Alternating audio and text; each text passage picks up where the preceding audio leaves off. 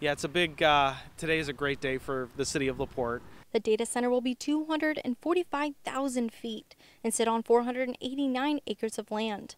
The data center will support Microsoft by accelerating cloud computing infrastructure and support the growth of artificial intelligence. Historic. These are, this is historic news that, um, you know, on day one we said LaPorte is a special place. It's uh, the place to be, and I think this uh, shows everybody here that uh, someone like Microsoft, who could set up shop anywhere across this great nation, has chosen our community uh, because they recognize as well how special LaPorte is.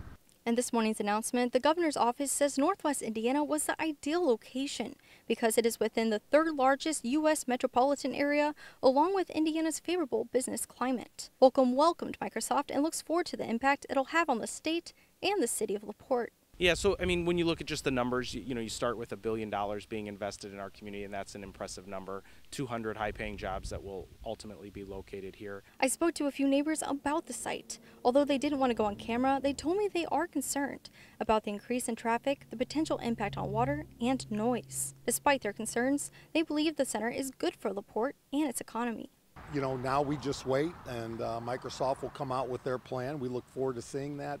But uh, I think you'll see, in my opinion, uh, Microsoft's involvement sooner than later uh, with the community of LaPorte. Thanks for watching. Here's another story you may like. And subscribe to the WSBT 22 YouTube channel.